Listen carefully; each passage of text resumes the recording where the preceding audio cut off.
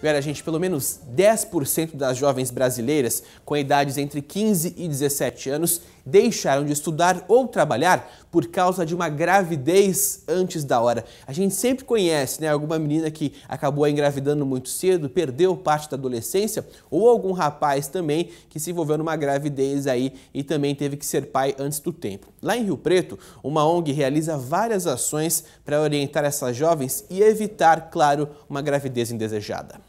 Esta jovem tem só 16 anos e já carrega uma responsabilidade imensa. Ela está grávida de cinco meses. A notícia pegou todos da família de surpresa, principalmente ela. Foi um choque, porque eu não esperava isso. Porque a gente nunca passa por isso. Aí quando passa, é bastante, sei lá, você pensa um monte de coisa. Você pensa que se o teu neném pode nascer prematuro por causa do seu corpo, é, pela idade que você tem, essas coisas.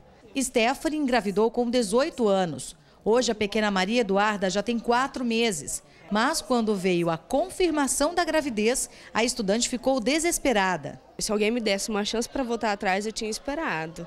Eu tinha tido ela com mais, vamos supor, uns 25, 28 anos, com um serviço bem, um serviço registrado, com um salário bom, aí sim eu teria ela.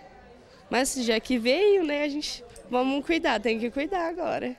E os casos de adolescentes grávidas só têm aumentado no país. Segundo o um estudo feito pelo Instituto Ayrton Senna, 10% das brasileiras com idades entre 15 e 17 anos abandonaram os estudos ou trabalho por causa da gravidez precoce. Um outro estudo das Nações Unidas revelou que 12% das adolescentes brasileiras entre 15 e 19 anos têm pelo menos um filho assunto que chamou a atenção de uma ONG que atua em todo o país.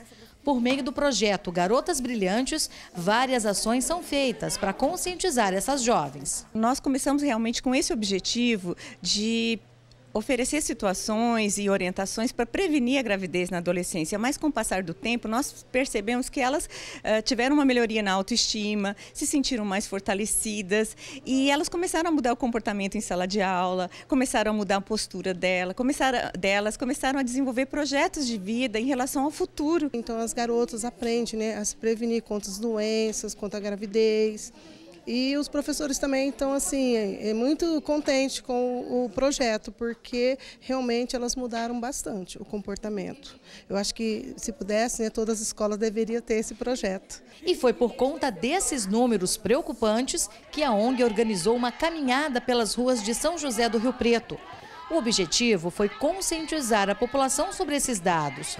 A Anne participa do projeto desde o ano passado. Ela diz que aprendeu muito mais do que tomar os cuidados quanto à gravidez precoce. Nesse assunto de gravidez e tudo mais, eu achei muito importante, porque elas vieram para ajudar nós.